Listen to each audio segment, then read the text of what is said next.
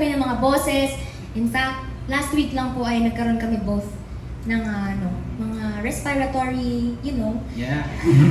Na yun. napagod at syempre napanghinaan ng loob and nakakasigurado kayong hindi kami titigan ni JM para haranahin at patuloy na maghatid ng musika para sa inyong lahat. Kaya sana po ay samahan niyo po kami sa aming pang mga susunod pang mga journeys. And uh, this is just the beginning. Wow! Na. Yes, ang layo ng na, narating namin. Malayo na ba? Ah. Basa ka lang. ang layo na narating namin ni Mariel. Siyempre, ang layo na po narating namin ni Mariel.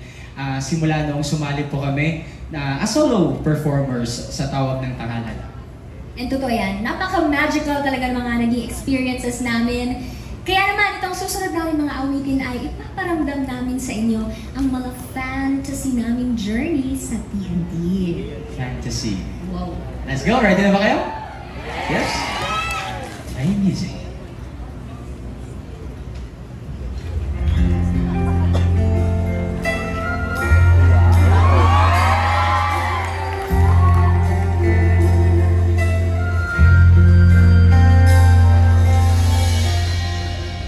Mm-hmm.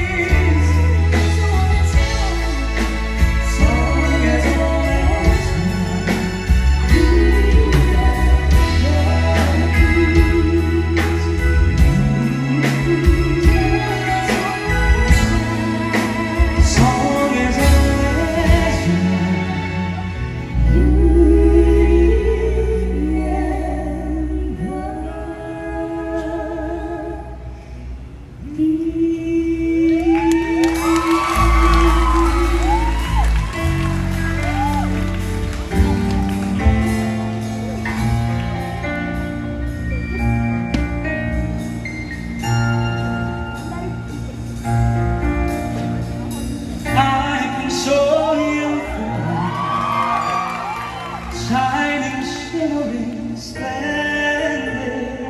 Tell me, princess, now when did you last let your heart desire?